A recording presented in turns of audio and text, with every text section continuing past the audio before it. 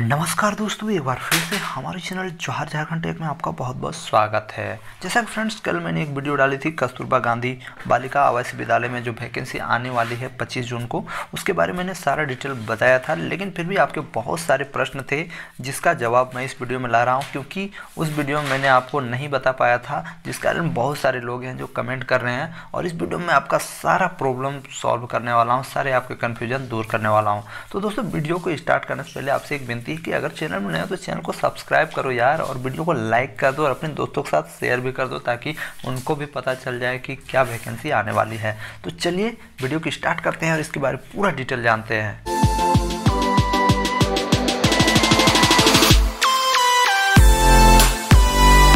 तो दोस्तों ये जो वैकेंसी निकलने वाली है मैंने आपको पहले ही बताया था कि ज़िला वाइज निकलेगी और हर ज़िला से अलग अलग वैकेंसी निकलेगी। तो यहाँ पर आ, सबसे ज़्यादा प्रश्न जो आए हैं वो ये आए हैं कि इसके लिए इससे जो योग्यता होगी वो क्या होनी चाहिए? तो सबसे पहले मैं आपको योग्यता बताता हूँ। देखिए मैंने यहाँ पर आ, पिछले साल का जो वैकेंसी निकला था वो नोटिस निकाला हुआ है और शैक्षणिक योग्यता इसी प्रकार रहेगी। देख लीजिए आप। देखिए गढ़वा ज़िले के अंतर्गत संचालित कस्तूरबा गांधी बालिका आवासीय विद्यालय में रिक्त पदों के विरुद्ध लघु संविदा के आधार पर चयन हेतु आवश्यक सूचना। तो ये मैं बता दूँ, ये प्रीवियस ईयर्स का है और ये इसी के अनुसार आगे भी रहता है और एक चीज़ बता दूँ, यहाँ पर जो यहाँ पर जो वैकेंसी आने वाली है कस्तूरबा गांधी में तो इसमें जो पढ़ाई होती है दोस्तों, कक्षा छः से आठ होती है और नौ से बारह तक की होती है, ठीक है? तो उसी के अनुसार यहाँ पर जो योग्यताएँ हैं, वो मैं आपको बताने वाला हूँ। तो सबसे पहले योग्यता बता दूँ, कितना कितना योग्यता किस प्रकार होनी चाहिए। मान लीजिए आप शिक्षिका बनना चाहते हैं तो ये तो सीट है। देखिए, शैक्षणिक योग्यता है मान्यता प्राप्त बोर्ड या विश्वविद्यालय से संबंधित विषय में न्यूनतम पचास परसेंट अंक, आरक्षित कोटि के हेतु पैंतालीस परसेंट के साथ स्नातक उत्तीर्ण और उच्चतर योग्यताधारी को चयन में प्राथमिकता दी जाएगी। यानी जिसका ज़्यादा एलिजिबिलिटी रहेगा, उसको प्रायोरिटी ज़्यादा दी जाएगी। ये लिखा हुआ है, ठीक है? और दूसरा जो है प्रशैक्षणिक अर्हता, मान्यता प्राप्त प्रतिष्ठान से बीएड उत्तीर्ण। यानी आपको बीएड उत्तीर्ण होना ज़रूरी है। यहाँ पर बहुत सारे लोग कमेंट करते हैं कि, सर, क्या डीएलएड वालों को मौका मिलेगा? तो देखो भाई ये प्रीवियस ईयर्स के अनुसार मैं बता रहा हूँ डी वालों को मौका नहीं मिला था क्योंकि सिक्स टू एट में पढ़ाना है, नौ से बारह में पढ़ाना है, ठीक है?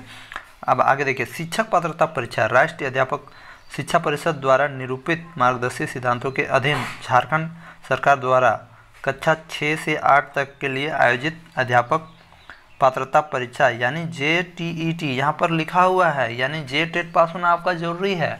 मतलब आप सी टेट क्वालिफाई किए हैं, बहुत सारे लोग कहते हैं कि सी टी सी टेट वाले को मौका मिलेगा कि नहीं?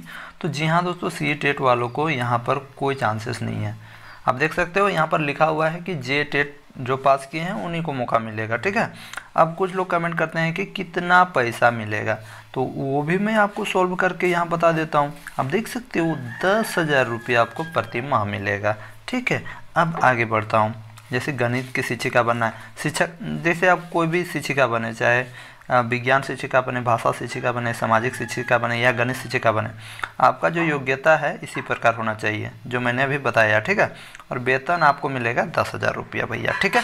तो ये प्रॉब्लम सॉल्व हो गया।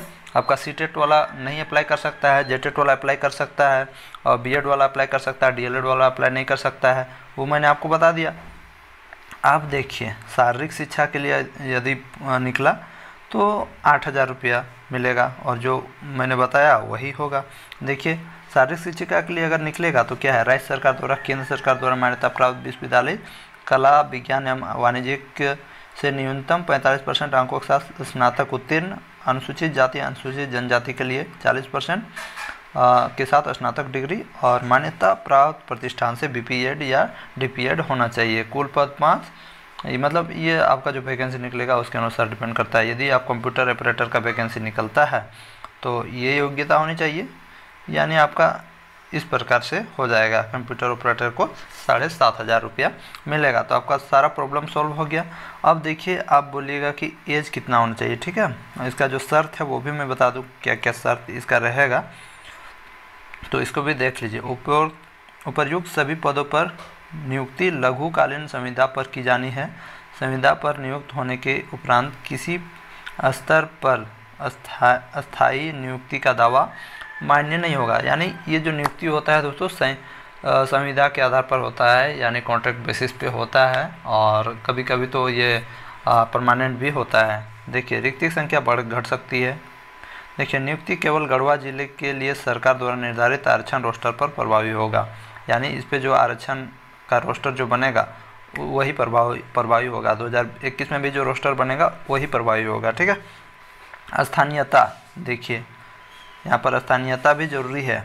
मतलब कोई लोग पूछते हैं कि बाहर वाले भर सकते हैं कि नहीं, दूसरे के लोग तो इसको नहीं भर सकते हैं। देखिए, यहाँ पर देखिए, यदि गढ़वा ज़िला से फॉर्म निकलता है तो गढ़वा ज़िला का स्थानीय निवासी होना ज़रूरी है। यानी साफ़ ज़ाहिर है कि दूसरे ज़िले के दूसरे राज्य के लोग इस फॉर्म को नहीं भर सकते हैं। आवेदक की उम्र अठारह एवं अधिकतम झारखंड सरकार के नियमानुसार होगी, यानी कम से कम अठारह होना चाहिए। उसके बाद जो हो, जो वो झारखंड सरकार तय करेगी। जाति प्रमाण पत्र भी होना चाहिए, आपका अनुमंडल से बना हुआ होना चाहिए, ठीक है? आगे देखिए, योग्य आवेदिका अपने शैक्षणिक जाति अवश्य प्रमाण पत्रों का स्व अभिप्रमाणित छाया प्रति के साथ ये तो लिखा हुआ है, ये सब आपको बाद में करना पड़ेगा। तो आपके सारे प्रॉब्लम सॉल्व हो गए होंगे। और इसमें कोई एग्ज़ाम उग्ज़ाम होने वाला है नहीं भैया, मैं आपको बता देता हूँ। इसमें डायरेक्टली आपका इंटरव्यू होगा।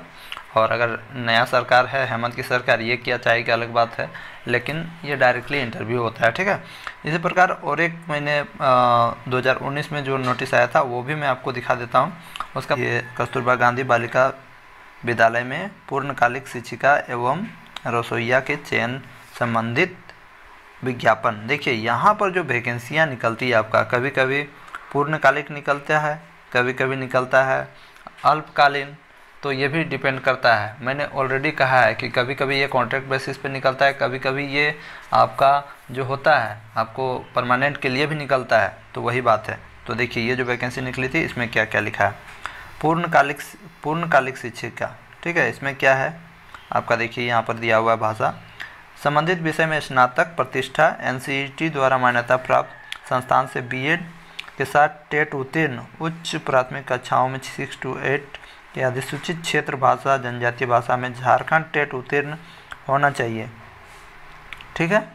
यानी आपका झारखंड टेट उत्तीर्ण होना बहुत ज़रूरी है। इसमें भी लिखा गया है। ठीक है? यहाँ भाषा में झारखंड टेट उत्तीर्ण उच्चतर शैक्षणिक योग्यता प्राप्त प्राप्त अभ्यर्थी को प्राथमिकता जा, दी जाएगी। यानी सी टेट वाला भी अप्लाई कर सकता है। इसमें जो 2019 वाला में निकला था सी टेट वाला भी अप्लाई कर सकता है जो 2019 में निकला था। लेकिन उसमें जो जे टेट पास है उसको प्राथमिकता दी जाएगी। यहाँ पर लिखा हुआ है ठीक है?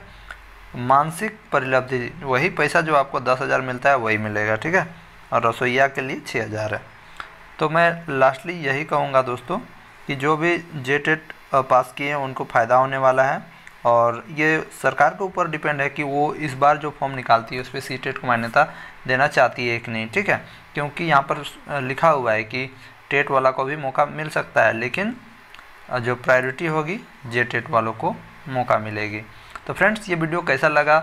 आशा करता हूँ कि आपका जो कन्फ्यूज़न होगा 100 परसेंट दूर हो गया होगा। और ऐसी ऐसी वीडियो मैं लेटेस्ट लेटेस्ट हमेशा आपके लिए लाता रहता हूँ ताकि आपको कोई कन्फ्यूज़न नहीं हो।